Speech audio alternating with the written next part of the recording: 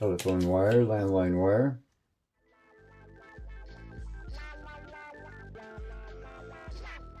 Set it up to uh, a couple of these lights for miniature video shoot. And just to have them handy, they're going to be 9 volt powered LED with switches.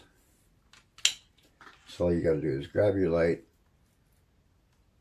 and go. No cord needed. I looked at several of these miniature lights on Thingiverse. This was one of the better designs. And like I said, I will attribute that at a later date.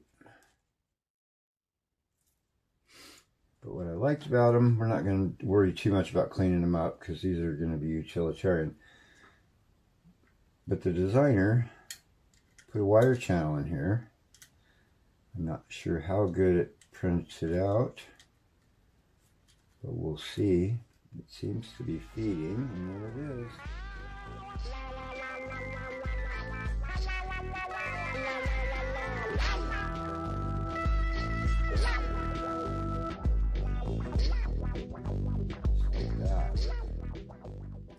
Nice. And then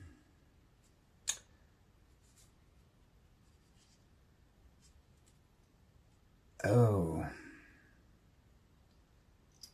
Let's see. We will make this the front because I want my nice side up. I got some boogers on the back side of that print so you'll go into it just like that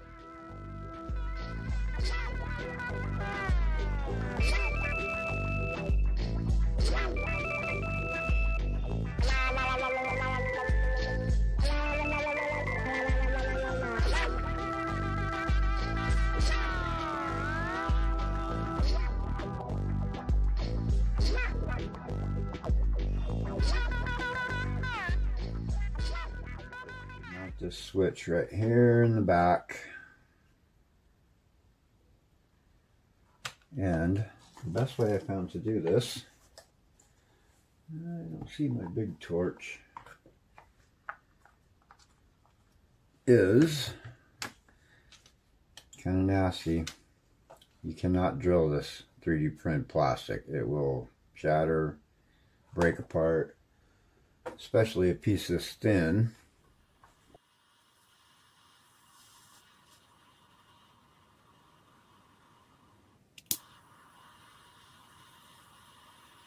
Alrighty, I see a little color there in the metal.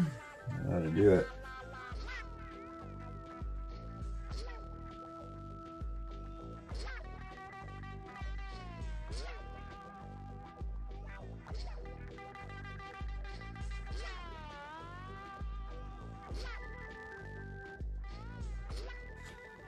Actually, it's putting a little dimple in there too, which I kind of like. Okay, so on the inside, I am going to have to get in there and cut that. There we go. She's getting red hot now.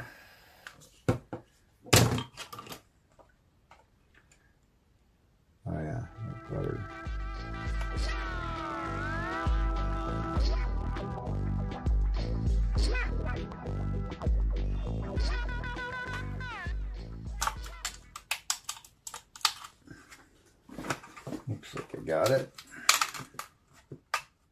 That's a little better. Now it sticks out. And it stays in so we can hot glue that together.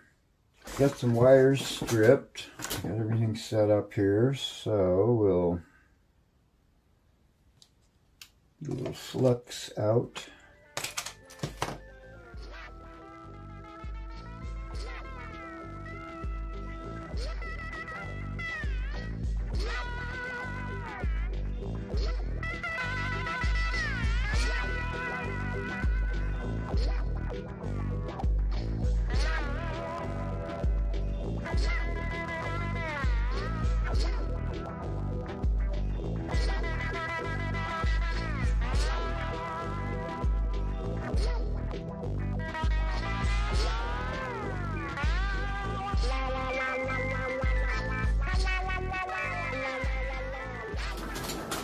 More dollar store stuff. Perfect for this sort of things. Living in the country. Got stock up on these. I usually buy at least half a dozen packs before I leave town to come home. Okay, well, there's that. Let's check our switch, see if we did it right. Nice. I can. I made a special rubber mold to make a lens on the front here. It came with uh, there's those funky little. It came with little covers to print. So I made a rubber mold to cast some clear acrylic lenses for it. And then these printed out wrong for some reason. I'm going to have to scale them up because they don't fit. Not even close.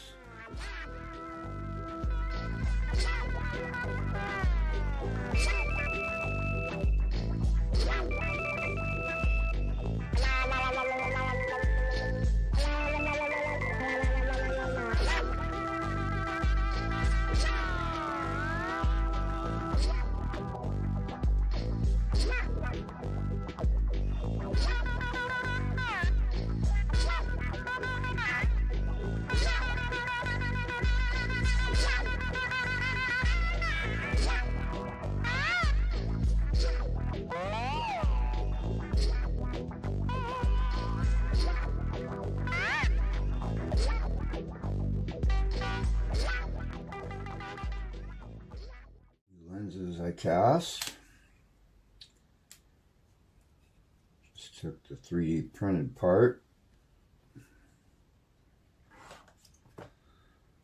Laid some shipping tape down on there to get a little better smooth surface. They didn't come out perfect, but still pretty clear.